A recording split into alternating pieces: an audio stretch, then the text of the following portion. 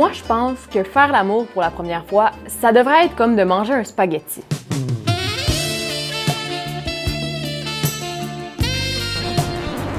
Drôle d'analogie, Rosalie, me diras-tu? Ça a quand même du sens parce que pour savoir si t'es prêt à manger un spaghetti, t'as rien qu'à te poser ces questions-là. Est-ce que t'es prêt à manger un spaghetti? Quand on te propose un spaghetti puis que t'as le goût de celui-là en particulier, si ça te semble être le bon moment pour manger du spaghetti puis que personne te force à manger le spaghetti, ben mange du spaghetti! Les gens font vraiment un big deal avec le premier spaghetti. Tu sais, on s'attend à ce qu'il faut que ça soit le meilleur spaghetti de ta vie, puis le plus important, puis que tu le partages avec quelqu'un que tu as attendu toute ta vie, qui arrive sur un cheval blanc. C'est juste un spaghetti.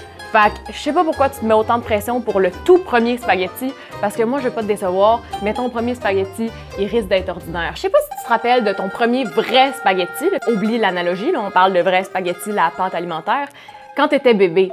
Tu savais pas où ce que ça allait, tu faisais des dégâts, c'était malaisant, là à regarder ça se peut que ta première fois ressemble à ça, mais c'est pas grave. Je veux pas péter ta balloune, mais ça sera probablement pas sur un lit de pétales de rose avec des bougies puis des colombes qui vous flottent autour de la tête. Ça se peut que ça soit ça, mais ça se peut que ça soit pas ça aussi. Ça se peut que genre tu glisses tes pétales, tu tombes en bas de ton lit, la bougie mette le rideau en feu, puis que la colombe te fasse une crotte sur l'épaule. Mais c'est ça. Moi, mon premier spaghetti, j'étais tellement stressée, mais j'avais vraiment envie de manger un spaghetti. J'avais 17 ans, puis je me disais, là, là, j'ai jamais mangé du spaghetti de ma vie, j'ai le goût, ça me tente, ça a l'air bon, mais mon Dieu que ça me stresse parce que mon Dieu que j'ai peur de pas faire ça comme il faut, puis ça me stresse, ça me stresse, ça me stresse.